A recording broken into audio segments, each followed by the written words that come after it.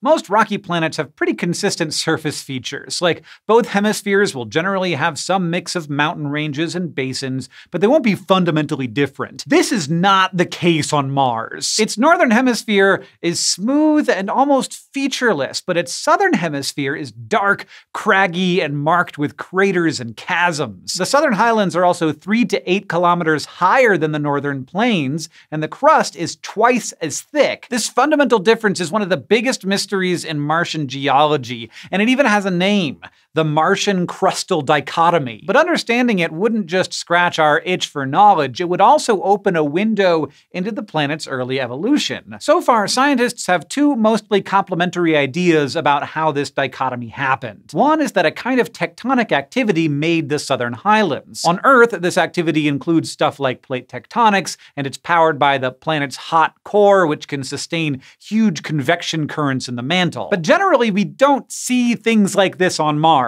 That's because Mars is about half the size of Earth, so it cooled down much faster, meaning that convection in the mantle has come to a halt over the last 4 billion years. But before then, something weird might have happened. So in 2012, scientists from the University of Colorado were studying the magnetic fields frozen into the Martian crust. These fields were locked into the crust's volcanic rocks as lava cooled and hardened, and they're a record of what Mars's planet-wide magnetic field used to be like. They're basically little time capsules, and by studying them, we can learn more about when volcanic activity happened and for how long. In their study, the team was looking at stripes in the magnetization of the rocks that showed how Mars's magnetic field may have periodically swapped its orientation. The idea here is that Mars's magnetic field flip-flopped like Earth's, swapping north and south poles over thousands or millions of years. And the map from this study showed something really remarkable. The magnetic stripes in the southern highlands are concentric rings. If this study is right, that could mean that lava was being produced from a single point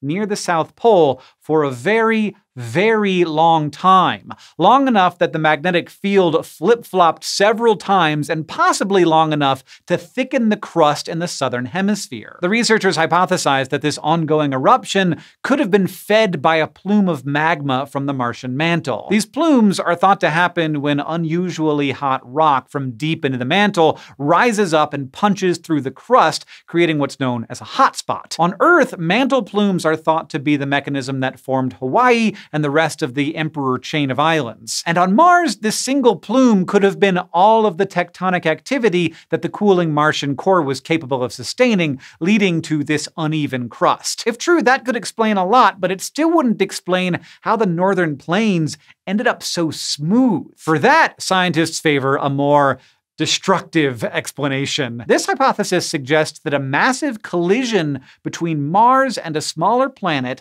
left behind a crater that spanned the entire northern hemisphere. This idea was first suggested in 1984, and at first it had a few problems. Like an impact usually leaves behind a circular impression, and the northern plains are elliptical. In any ways, scientists used to think that a collision big enough to make that kind of crater would have also made a magma ocean which would have obliterated the crater itself. But in 2008, a team of scientists ran the numbers, and they found that there was a kind of collision that could produce this character terrain. It would just require a small body about the size of Pluto to hit Mars at an angle and hit relatively slowly by planetary standards, a measly 20 to 30,000 kilometers per hour. Under these conditions, the molten rock made by the impact would have been mostly confined to the crater itself, making the plains we see today. This may sound unlikely considering there aren't any rogue Pluto-sized objects barreling around Mars these days, but these collisions were pretty common common in the early solar system, and based on how old Mars's other craters are,